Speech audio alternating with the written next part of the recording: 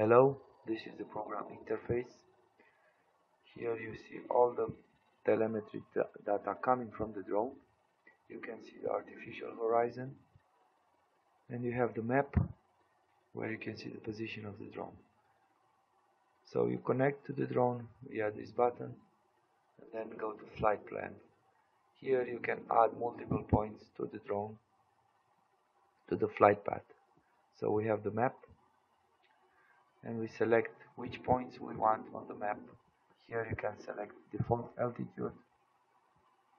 Each, each altitude it will tell you automatically the distance.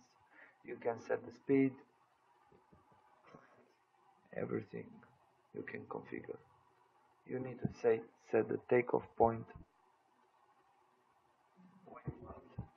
uh, land point you can set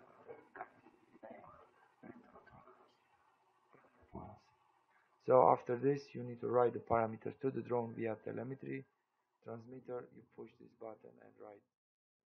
This is the drone with telemetry antenna. And we will auto land and auto depart.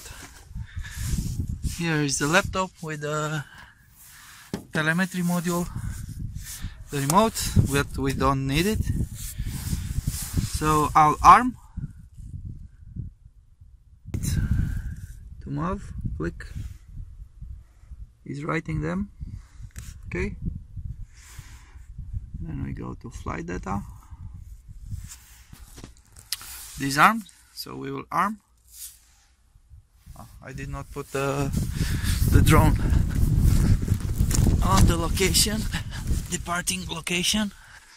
So we take and put here. Uh, yeah okay I go back. So we arm from the remote control. Arm. Mode not armable. armable what we fix. We switch to stabilize. Then we arm.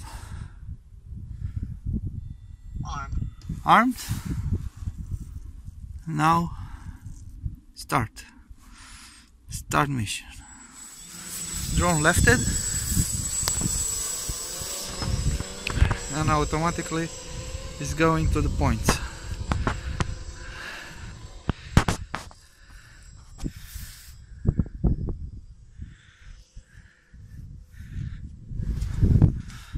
So we can see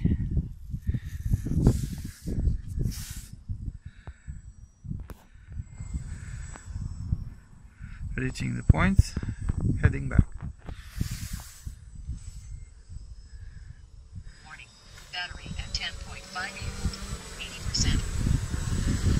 now automatically landing back